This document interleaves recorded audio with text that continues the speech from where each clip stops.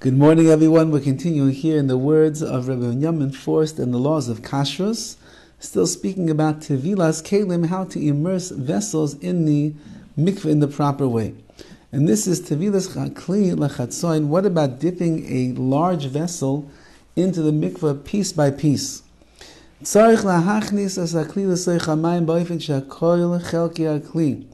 You have to put the vessel into the water in a way that all of the parts of the kli,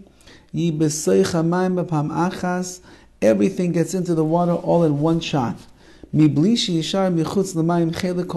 even one little piece of that kli, of that vessel, can be sticking out of the water. The whole thing has to be immersed in the water at once. So kli gadol, what if you have a very large vessel? It's too big to fit into the mikvah all at one time. Ein lahadbilim bechatzoin, you're not allowed to dip this partially. What should you do?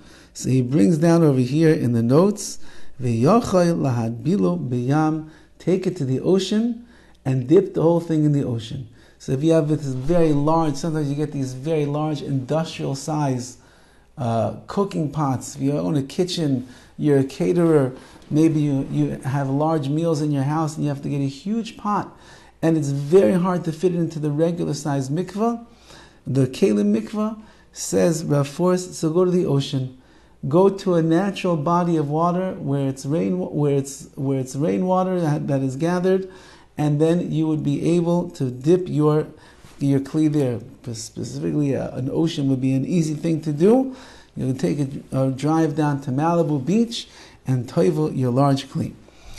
Tevilas bakbuk. What about a bottle?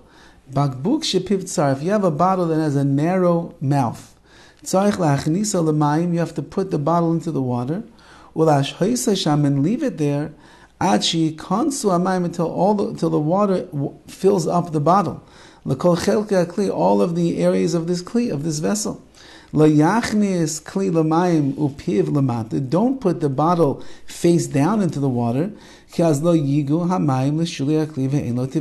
as you know, if you put the bottle in there face down, the water will not go inside of the kli, inside of the bottle, and then it won't get into all the walls of that bottle, and it will not be a good tevila, a good immersion.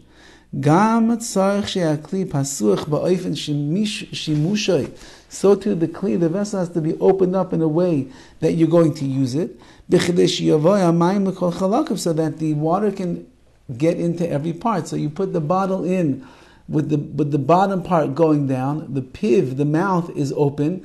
You get it under the water, and you you hear it like gurgling, so to speak, that the water is filling up. You see the bubbles filling up, and once the bubble stop, then you know that the entire kli, all the walls of that bottle, have been filled with water, and it's under the water, and therefore that's called a good immersion. L'chein, therefore, sakin miskapa. Let's say you have like a folded knife you know, some of these knives, the Swiss Army knives that's like folded in into a compartment. So you want to put the whole thing into the into the mikvah.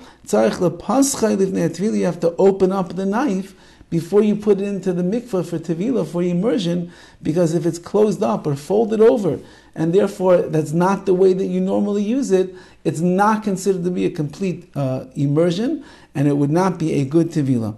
That's the halachas today. And Be'ezras Hashem, we will continue next week. Have a wonderful Shabbos.